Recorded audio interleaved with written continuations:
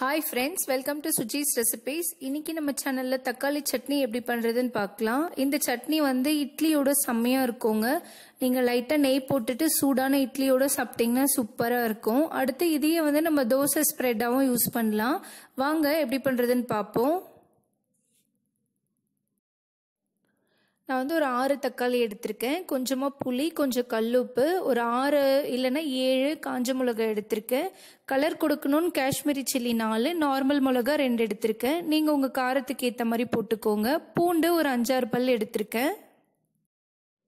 இப்போ மிக்சி ஜாரில் இது எல்லாத்தையும் போட்டு நல்லா நைஸாக அரைச்சிடலாம்.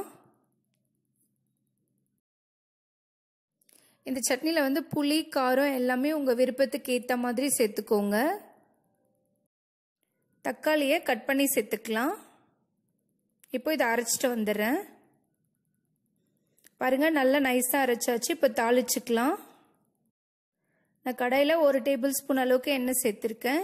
இதோட கடுகு உளுத்தம்பருப்பு கடலைப்பருப்பு போட்டு நல்லா வதக்கிடலாம். இது நல்லா செவந்ததுக்கு அப்புறமா கருவேப்பிலை சேர்த்துக்கலாம்.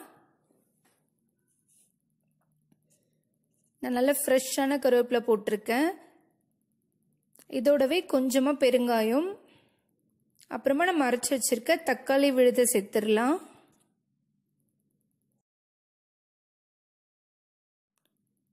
இதில் வந்து தண்ணி சேர்த்துறாதீங்க. நான் வந்து சும்மா மிக்சி வாஷ் பண்ண கொஞ்சம் தண்ணி தான் சேர்த்துருக்கேன்.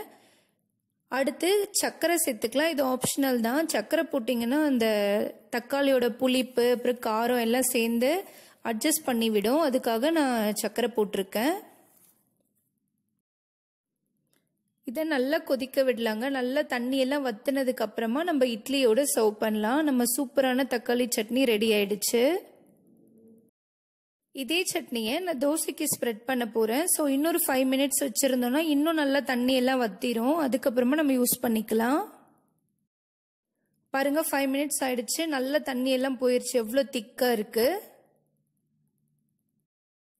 இப்போது தோசை ஊற்றிடலாம் நான் வந்து தின்ன ஊற்ற போகிறேங்க நம்ம உடனே சாப்பிட போகிறோன்னா தின்ன ஊற்றிக்கோங்க இல்லை லஞ்ச் பாக்ஸ்க்கு கொடுக்க போகிறோன்னா கொஞ்சம் திக்காக ஊற்றிக்கணும் இதுக்கு மேலே லைட்டாக நெய் போட்டுக்கலாம். இந்த தோசைலாம் வந்து கிட்ஸுக்கு ரொம்ப பிடிக்குங்க. நான் எங்கள் வீட்டில் அடிக்கடி என் பசங்களுக்கு செஞ்சு கொடுப்பேன். இதுக்கு மேலே நம்ம செஞ்சு வச்சுருக்க சட்னியை ஸ்ப்ரெட் பண்ணிக்கலாம். இப்போ நம்ம கிறிஸ்பியான சட்னி தோசை ரெடி ஆயிடுச்சு.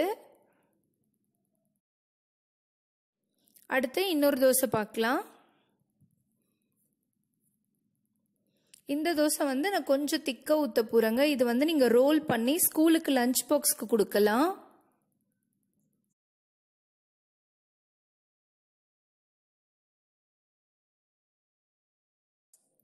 இதுக்கு மேலே லைட்டாக நெய் போட்டு விட்டுருங்க. நீங்கள் நெய் போட்டிங்கன்னா இது வந்து லஞ்ச் டைமில் சாப்பிடும்போது உங்களுக்கு ஹார்டாக இருக்காது. நல்ல சாஃப்டான தோசையாக இருக்கும்.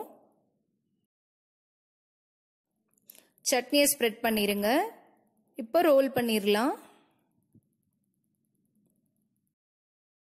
நம்ம தோசை வந்து எப்போவுமே லஞ்ச் பாக்ஸ்க்கு கொடுக்க மாட்டோம். ஹார்டாக இருக்குன்னு. ஆனால் இந்த தோசை வந்து நல்ல சாஃப்டாக சூப்பராக இருக்கும். ட்ரை பண்ணி பாருங்கள் அடுத்து சீஸ் தோசை பார்க்கலாம். இது வந்து நான் உடனே சாப்பிட்றதுக்கு தான் பண்ண போகிறேன் இந்த தோசை வந்து நம்ம லஞ்ச் பாக்ஸ் கொடுக்க போகிறோன்னா திக்காக பண்ணிக்கோங்க. இதுக்கு மேலே வந்து நீங்கள் பட்டர் போடலாம் இல்லைன்னா நெய் போடலாம். நான் வந்து எண்ணெய் தான் போட்டிருக்கேன். அடுத்து சீஸ் ஸ்லைஸ் இருந்துச்சு என்கிட்ட. அது நல்லா குட்டி குட்டியாக பிச்சு போட்டிருக்கேன். நீங்கள் எந்த சீஸ்னாலும் யூஸ் பண்ணலாம். இந்த தோசை இருக்கிற சூடுலேயே வந்து சீஸ் வந்து நல்லா மெல்ட் ஆகிடும் நம்மளோட சீஸ் தோசை ரோல் ரெடி ஆயிடுச்சு. இது எல்லாமே வந்து நான் வீட்டில் கிட்ஸுக்கு வந்து அடிக்கடி செஞ்சு கொடுக்கறது. அதனால தான் இது கிட்ஸ்க்கு பிடிக்கும்னு சொல்கிறேன் நீங்கள் ட்ரை பண்ணி பாருங்கள் இப்போது நம்ம தோசை வெரைட்டி எல்லாம் ரெடி ஆயிடுச்சு. இந்த சட்னியை நீங்கள் இட்லியோட கூட சாப்பிடலாம். சூப்பராக இருக்கும். நல்லா செம்மையாக சூடாக இருந்துச்சுன்னா இட்லி நல்லா நாலஞ்சு சூப்பராக உள்ளே போகும்.